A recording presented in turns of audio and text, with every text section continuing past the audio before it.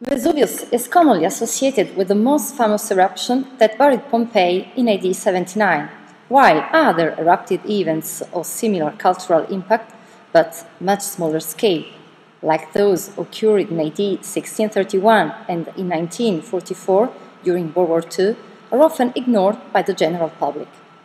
Archaeological readership might be acquainted also with Vesuvius' Bronze Age eruption, commonly known as the Avellino Pumices eruption, thanks to the discovery of three well-preserved huts near Nola and many stilt houses in the far countryside of Nola, this latter site still being excavated as we speak.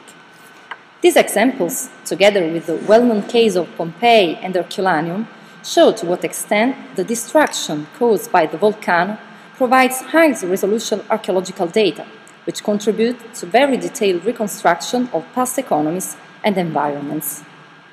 This potential has not been exploited yet for the late antique eruption of Vesuvius, which occurred in AD 472, 505, and 512.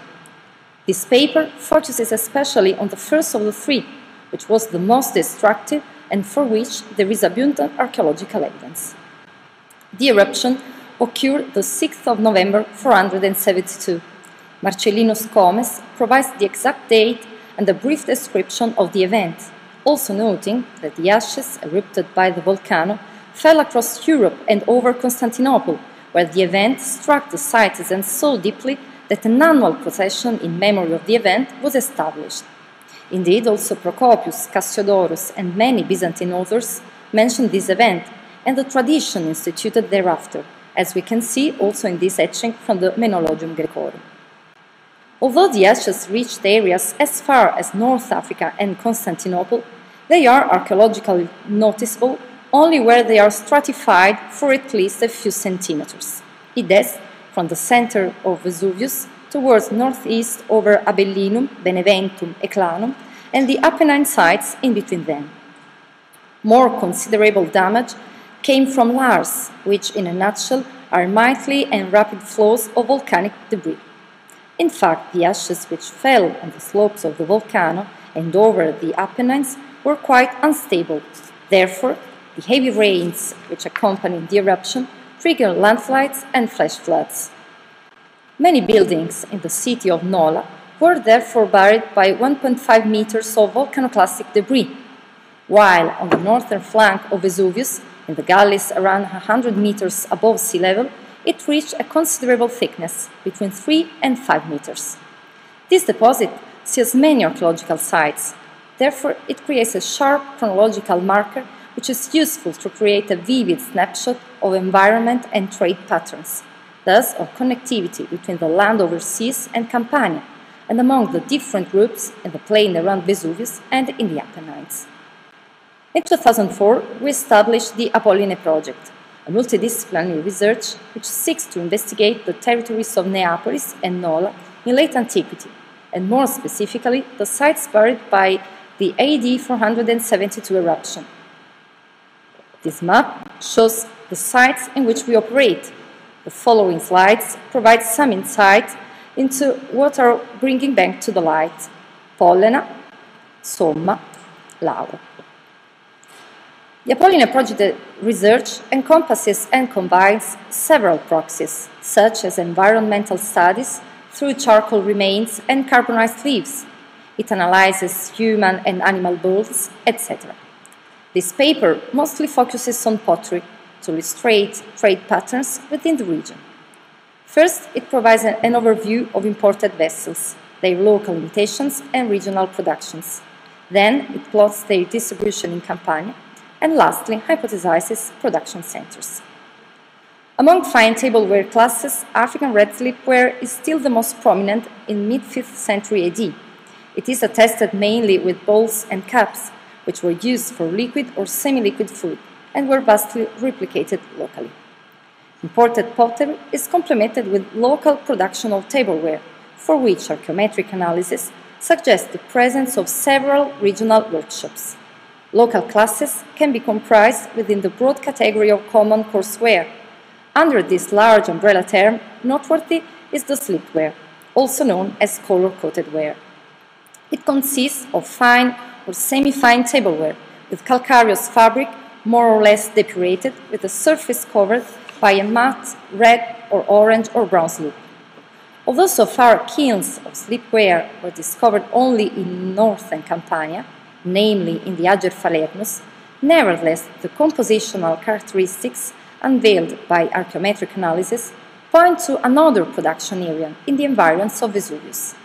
Slipware includes both open shapes like bowls, cups, and basins, and closed shapes like jugs and stocking amphoras.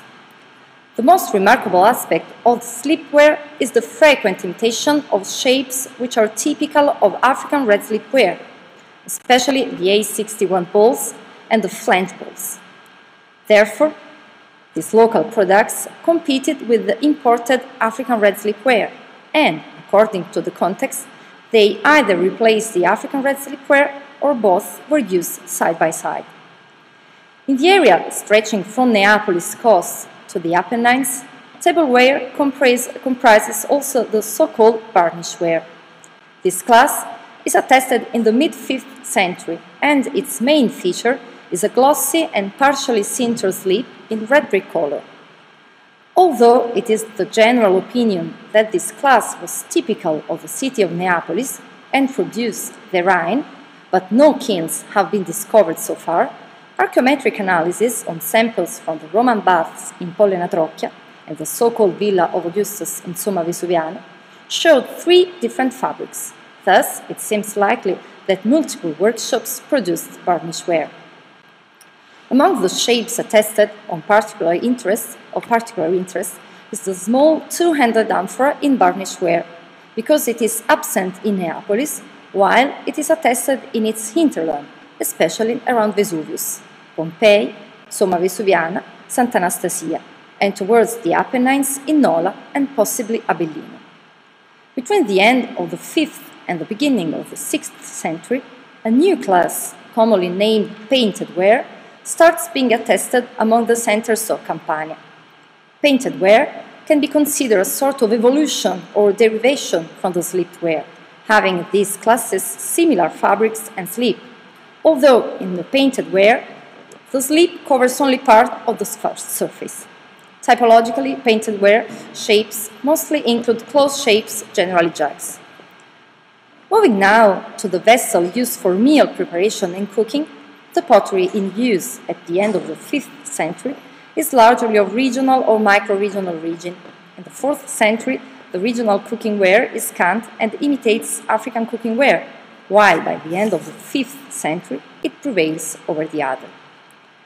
Another typical class of the, this period is the Pantellerian ware, which is spread across the western Mediterranean basin. Its typology is imitated regionally. For example, the casserole with thicken and inward rim, Carminiello to type, but overall in Campania it is present only in a small percentage. We move now to some cooking ware which can be considered representative of regional or micro-regional production. The most typical shape is a cooking dish, hand-modeled, with abundant lithic grits, which was probably used for the bread cooking. Archaeometric analysis show fabric inclusions compatible with the environs of Vesuvius. At the naked eye, nevertheless, more differences are noticeable. These probably refer to the way in which the object was made, rather than its inclusions. Therefore, maybe several workshops would produce it. Interestingly, this shape is not attested in Neapolis, but it is quite common on the north slope of Vesuvius, in Pollena Trocchia and Somma Vesuviana, and inland in Nola. Further micro-regional production in common ware, yet again absent in Naples, can be identified by its reduced oxidating firing. This firing is combined with partially or totally polished surface, and it is mostly used to make casserole in cooking ware. We carried out archaeometric analysis on a casserole with convex rim and high carinated walls from Pollena Trocchia for which we found another example in San Giovanni di Prato la Serra in the Apennines. Fabric is hard, rough, rich in quartz, feldspar, and mica inclusions. The carbonatic component, calcite, is quite completely decomposed. Volcanic inclusions are absent, while it is present an arenaceous component. The main visual characteristic is the presence of an inner grey core with outer orange rims. Another shapes, shape with the same firing is a two-handled stalking amphora with molding rim, concave neck and ovoid body. The fabric is hard and rough with a grey inner core and an orange-red outer core. The composition is marked by the presence of quartz, alkaline feldspar, plagioclase, clinopyroxene and mica inclusions, accompanied by some argillous rock fragments, volcanic lithical inclusions like pumices and an arenaceous component. Pollena Trocchia, the amphora, is attested in two sizes. The bigger, probably used for stocking dry food supply, has a diameter of 25 centimeters and is at least 50 centimeters tall, while the smaller has a diameter of 13 centimeters. In Campania, these shapes are attested with the same fabric in Benevento, at the Church of Santa Sofia, although these contexts are dated from the 6th to the 12th century, while in Pollena Trocchia, the volcanoclastic fill provides a sharp terminus ante quem to AD 472. Thus, probably, this vessel started being produced earlier. The evidence brought forward so far shows a quite lively picture of trade and production in AD 472 Campania. Among the imports, African fine ware still plays a prominent role, while another region are scantily represented, example Pantelleria and the Levant. Part of the fine wares produced in Campania imitates the African imports, but it is still the minority in the 4th century, while the end, at the end of the 5th century, the situation is rather the opposite. Our interests focus mostly on the common ware, for which we differentiated specific classes and production by combining morphology and archaeometry. We moved beyond the traditional idea of only one production center in Neapolis in favor of several workshops in the countryside. This is quite evident for the two-handled small amphora in varnish ware, for which many variants are attested, thus we imply low standardization and multiple kilns. The last fabric under investigation further complicates the study because it shows inclusions typical of volcanic areas together with others more closely linked to the Apennine Altiplanus. This hypothesis is encouraged by the discovery of some kilns in the Apennines, on which we hope to start soon a deeper investigation. The evidence discussed above shows how some shapes of local production can be assumed as signs of local identity. We think particularly to the small amphora in varnish ware or the bread cooking dish, which is quite different from the clibani or testa in use at Neapolis. Moving to the general question of trade patterns, ideas of connectivity and identity, we hypothesize the presence of multiple trade patterns operating at the same time within a complex system.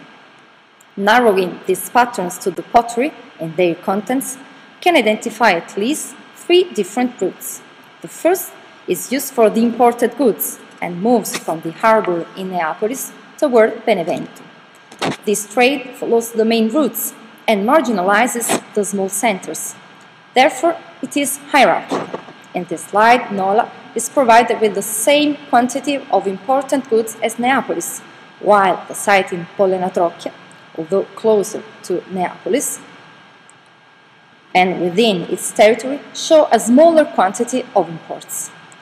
The second route links the sites on the slopes of Vesuvius.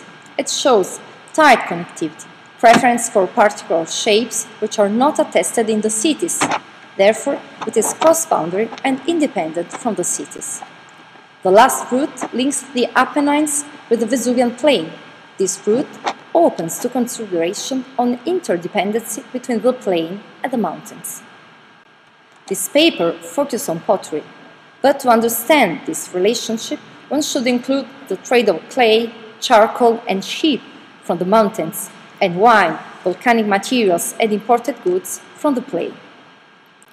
Although the evidence is still patchy, as working a hypothesis, we would like to suggest that the identity of rural population was cross-boundary and different from that of the cities. Thanks for your attention.